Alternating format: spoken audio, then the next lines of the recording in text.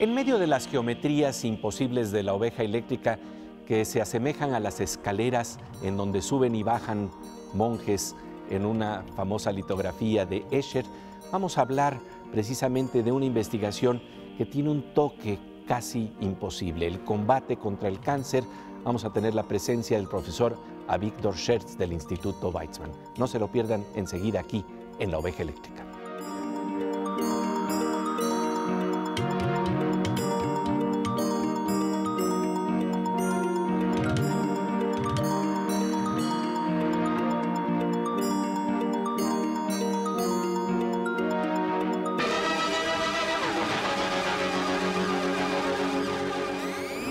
Bienvenidos al universo de la oveja eléctrica, el programa de ciencia y pensamiento de Canal 22.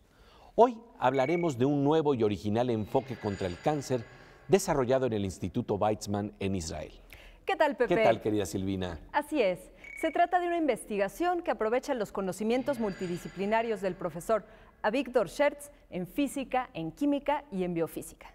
Eso permite conectar los puntos para primero imaginar al cáncer como un órgano disfuncional y luego tratar de imitar lo que hace la naturaleza cuando en una planta se deshace de las partes de una hoja que podría dañarla por completo. Pepe Gordon conversa con el profesor Avigdor Schertz, quien explica cómo funciona el cáncer y la estrategia que ha elaborado para combatir con éxito las etapas tempranas del cáncer de próstata, que también podría aplicarse a otro tipo de tumores.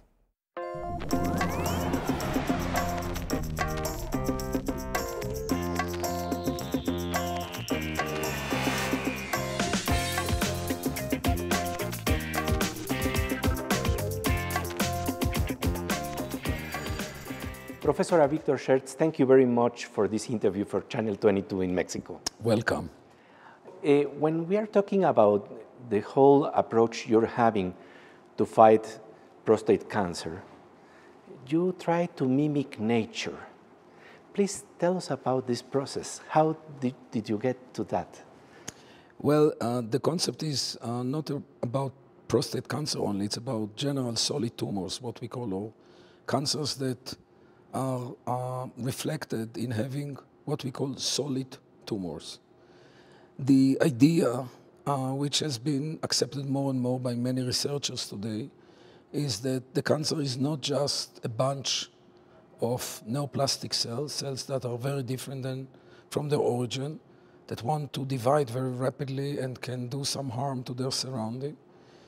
But it's actually an organ uh, because these cells cannot survive on their own. They need uh, blood vessels, they need supporting matrix, they recruit cells that build up this matrix, and as they evolve, there is also immune cells that come in to see what are these newcomers and want to kill them.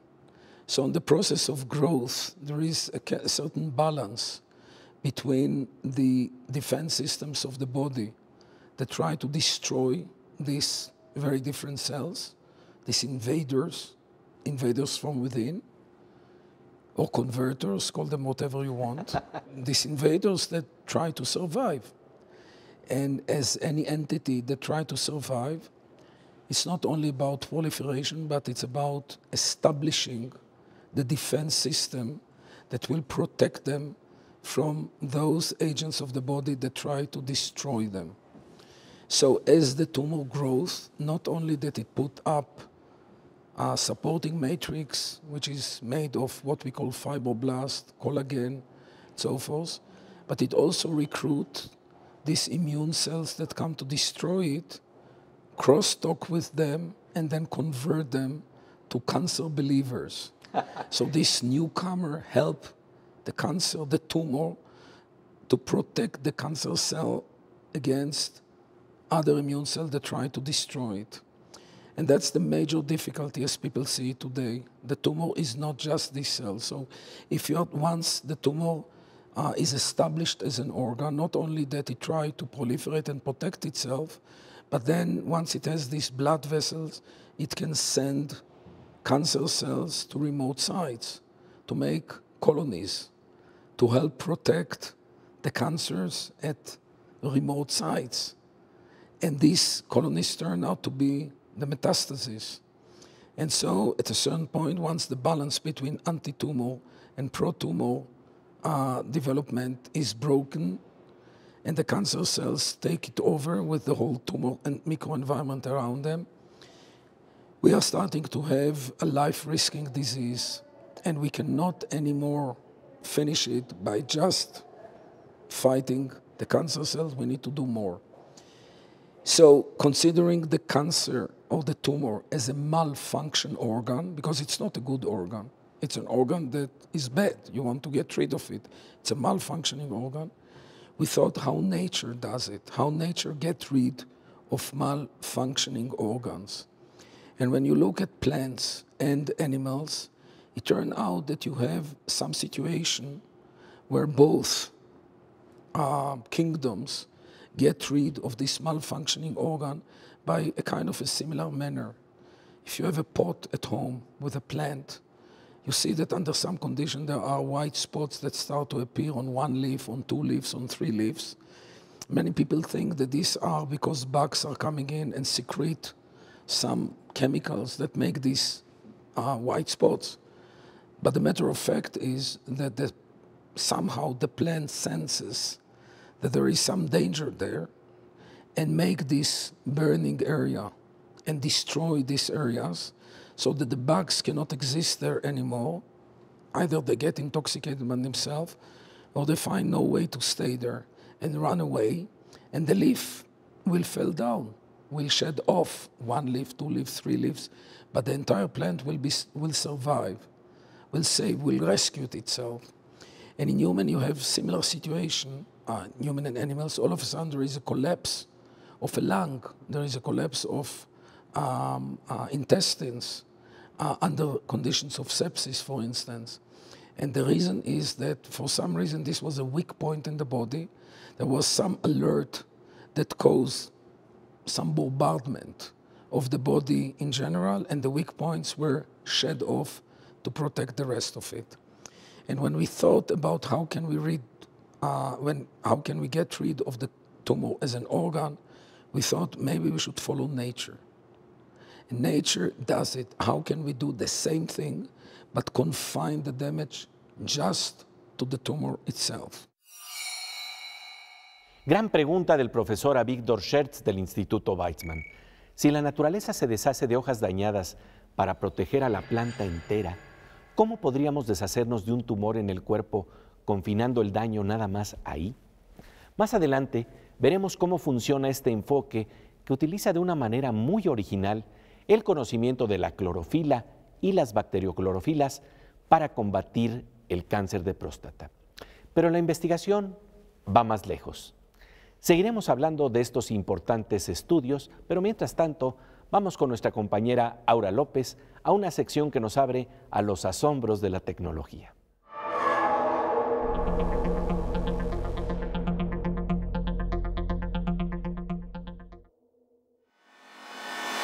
Pues querida Aura, un gusto encontrarnos aquí en La Oveja, además con una camiseta en donde tienes a Cat Vader. Así es, pues es que a mí me encantan los gatos y me encanta esta película, entonces, ¿por qué no mezclar todo, no?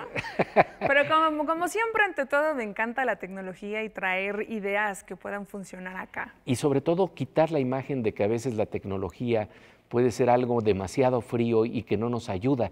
Y hoy creo que nos traes algo que verdaderamente nos plantea el buen uso que se le puede dar a la tecnología. Sí, fíjate que se ha estado hablando mucho de la wearable technology o tecnología de vestimenta y normalmente se usa para medir las calorías, cuánta, cuántas calorías gastaste, cuánto ingeriste, qué tanta agua tomas y demás. Pero en esta ocasión justo una compañía hizo y aprovechó esta tecnología para hacer una bandita o reloj o pulsera inteligente para ciegos y débiles visuales. ¿En qué ayuda esto? De entrada, la persona que lo probó y el fundador de la empresa es ciego. Entonces, él es la primera persona que probó este dispositivo y lo que hace este, este dispositivo es que tiene un sensor sonar que detecta la distancia de los objetos. Entre más cerca estás de un objeto, vibra más fuerte el dispositivo y entre más lejos, vibra más suave. Y algo interesante es que este producto fue de una campaña de un sitio que se llama Indiegogo, que justo buscan recaudar fondos y si el proyecto se ve viable, bueno y funcional, consiguen el dinero y ellos lo consiguieron. Y ahora este dispositivo está a la venta, ahorita solo en Estados Unidos, pero bueno, siempre lo interesante de este tipo de proyectos es que cuando entran a este sitio y se hacen, significa que hay que trabajar más en esa idea porque es una buena idea y si logran tener más capital y demás, puede justo ser algo más masivo. De hecho, es una gran idea ver con el sonido. Exactamente. Pues como siempre te agradecemos mucho tu presencia aquí en la Oveja Eléctrica. Gracias a ti, Pepe.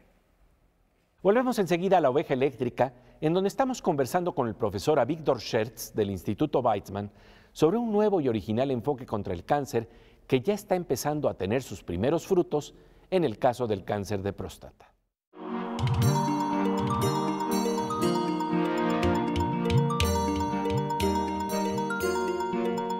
Como de rayo, estamos de regreso en el universo de la oveja eléctrica para hablar de un nuevo y original enfoque contra el cáncer.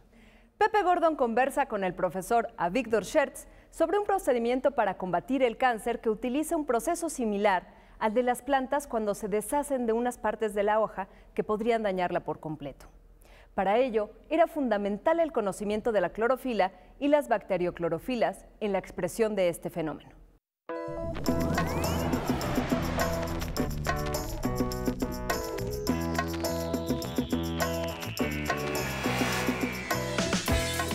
That's how we developed the, the, the method, which means uh, since nature does it in plants and animals by the use, by the, the pulse production, the ample production of two types of radical, nitric oxide radical and oxygen radicals, maybe we can mimic the same process in the organ environment and thereby get rid of it.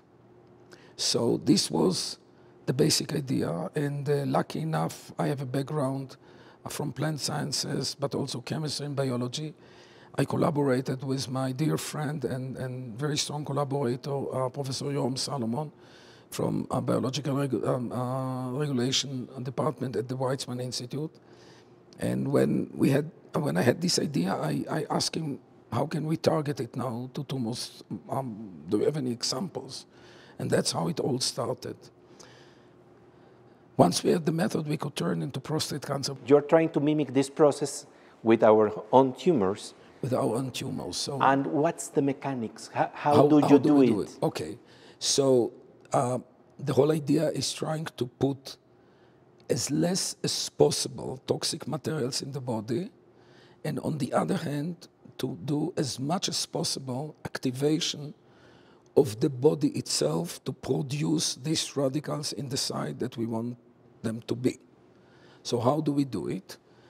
And here comes the concept of using some ideas that have, been in the uh, investigating um, our community for quite some time.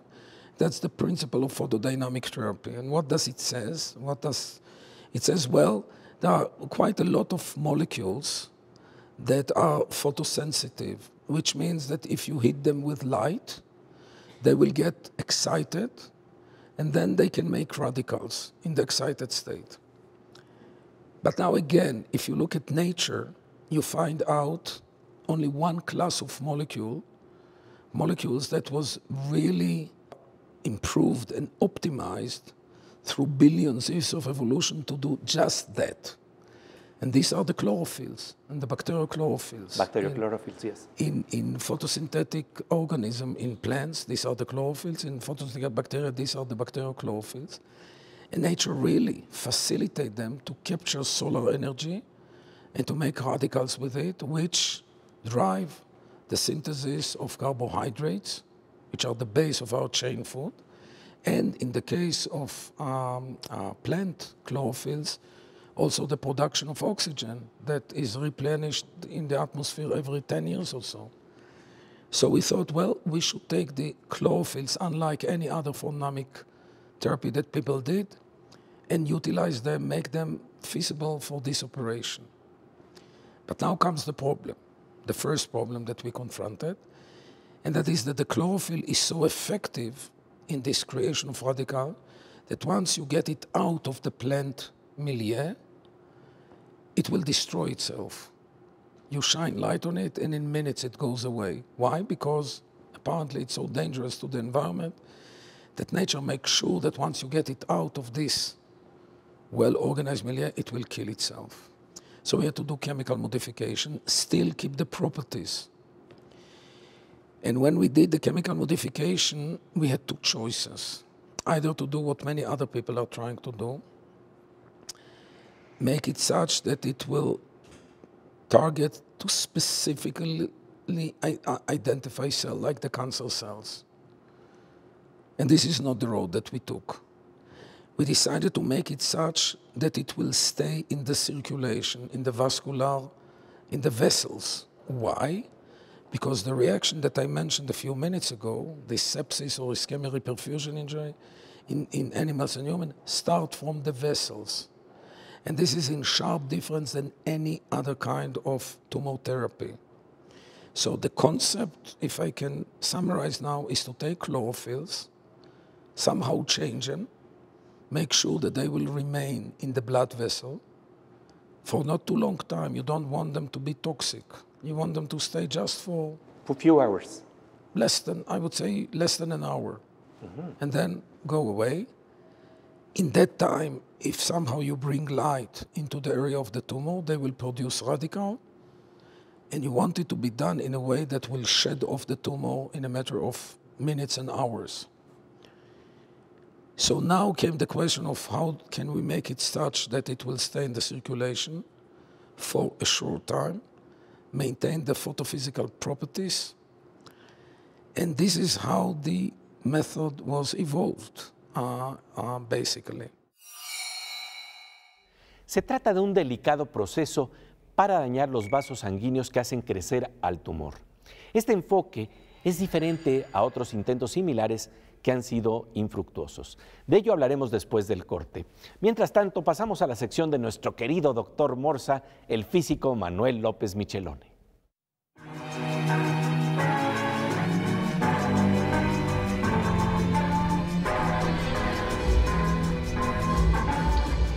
Pues querido Morsa, aquí flotando en este espacio de la oveja eléctrica juntos. Sí, cómo no, Pepe. hemos estado hablando de la importancia de simular fenómenos, hacerlos parecidos a los que hacen los que hace la misma la naturaleza para combatir enfermedades. Hablemos de los de las simulaciones que se hacen en la, en la computación. ¿Qué principios siguen en términos biológicos? Uno de los problemas básicos es entender primero qué es la vida, cómo se desarrolla. Y podemos meternos en la parte biológica y ahora sí, ensuciarnos las manos en ese tema, pero la otra es usar la computadora como si fuese una especie de microscopio virtual. Simulamos a nivel conceptual células que se mueven en un tablero cuadriculado, por ejemplo. ¿sí? Existe el famoso juego de la vida de Conway, que de alguna manera tiene reglas muy claras, y se han estudiado las configuraciones que se generan a través de las generaciones que van pasando de, configuraciones. Y hay mucho trabajo hecho por ahí. Pero ahora imagina, Pepe, que estás tratando de estudiar un fenómeno biológico pero de pronto entra una mutación. Y cuando entra la mutación, todo cambia, porque entonces las reglas del mutante son diferentes a las reglas de, toda la configuración. Y entonces podemos entender más cómo funciona un mecanismo de mutación con respecto, o sea, a nivel conceptual, con respecto a lo que pasa a nivel biológico. Y de ahí tomar en cuenta cómo lo hacemos en la simulación y qué podemos sacar de provecho de ahí para transportarlo a la parte biológica. Por eso es tan importante el estudio multidisciplinario. Eh, implica inteligencia artificial, conocimiento de fotosíntesis, conocimiento de biología, conocimientos de múltiples terrenos de del conocimiento. Y sí, Pepe, y te voy a decir una cosa, el más importante es que tenemos chamba de programación para rato. ya ven que hackear no tan solo sirve para entrar en la computadora del otro, sino para ayudarnos a ampliar el conocimiento. Así es, Pepe, así es. Muchas gracias, querido Morsa. Volvemos enseguida a la oveja eléctrica, en donde estamos conversando con el profesor Víctor Schertz del Instituto Weizmann sobre un nuevo y original enfoque para combatir el cáncer.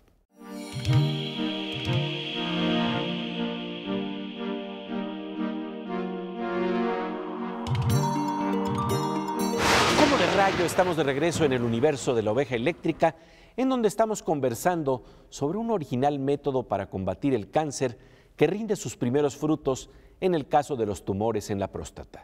Se trata de concebir al tumor como un órgano disfuncional y atacar los vasos sanguíneos que lo hacen crecer y lo alimentan en una forma distinta a las terapias que se han utilizado hasta ahora.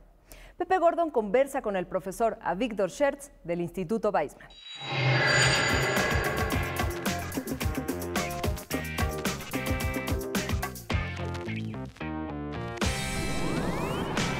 Usually, there, there are several, let, let me say differently, there are currently several cancer therapies that target the blood vessels that are called vascular targeted.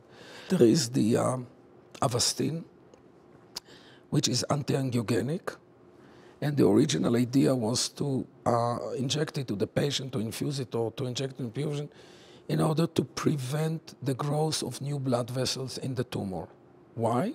Because people say, well, if we do it, we prevent the growth of the tumor. We put it in what we call dormant state. It turns out that it didn't work uh, in principle, and rather than stopping the uh, development of vessels, it normalized the, the tumor blood vessel, which was good because you could deliver chemotherapy and radiation therapy in a better way. But it was not good enough. And in fact, it has some side effects, and I, I don't want to get into it, mm-hmm. that uh, avoid its use now for breast cancer and others. There's another way that is called antivascular, where you kill the blood vessels immediately and they cut the, the provision of nutrients and oxygen to the tumor cells. And by that, you try to starve it. Again, it doesn't work because very rapidly the tumor develop new blood vessels, that the tumor cells. What we do is, first of all, use the blood vessel as death lines. We produce toxic radicals within them. We use the capability of the tumor, of the, of the vessels of the human body to produce these very bad radicals, nitric oxide and oxygen in large quantities, because in small quantities they are very good. They do many kind of biological activities, but we produce them in large quantities. So first of all, we produce the death signal, which goes in the vessels, cause their constriction, and then start to propagate in the cancer cells themselves to the cancer core, and then we cut all of it down and prevent any new supply. And that's how within a few hours we see in the animal studies that the tumor completely collapsed. En animales el tumor colapsaba totalmente. Lo mismo ocurrió en los estudios que se hicieron con seres humanos. De ello hablaremos en la próxima emisión de La Oveja Eléctrica. El profesor Víctor Schertz del Instituto Weizmann nos plantea cómo funciona este procedimiento en el cuerpo, de su aplicación en varios tipos de cáncer e incluso de la posibilidad de una vacuna contra este padecimiento. No se pierda este interesante programa con una de las mentes más brillantes en la investigación de enfoques novedosos contra el cáncer. Pasamos ahora a la sección Veo Veo con nuestra queridísima compañera Miriam Moscona.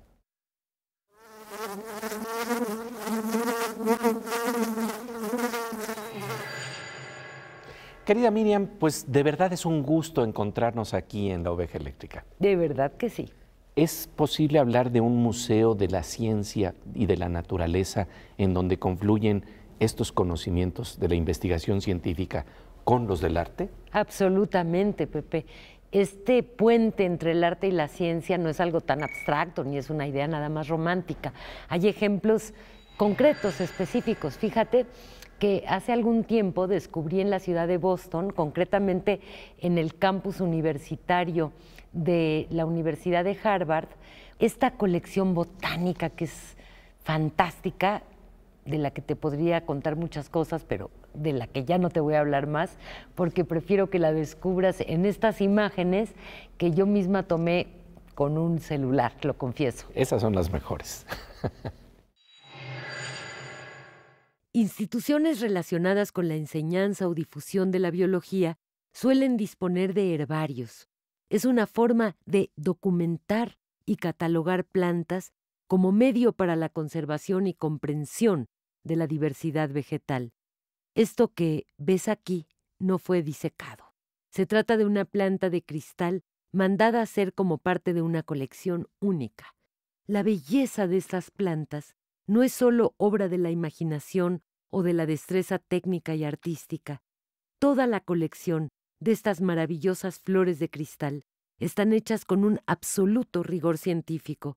Cuando uno se asoma a ver la perfección diminuta de cada espina, de cada pétalo, de cada hoja, le cuesta trabajo entender que esto fue realizado pieza por pieza, con medidas específicas, con vigilancia y rigor científicos.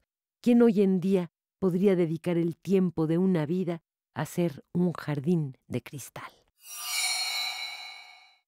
La voz de nuestra querida compañera Miriam Moscona en medio de las geometrías imposibles de la oveja eléctrica que parecen una especie de escaleras de Escher. Y ahora vamos a ver qué sorpresa nos tiene Fernando Rivera Calderón en su sección Cantos Cuánticos.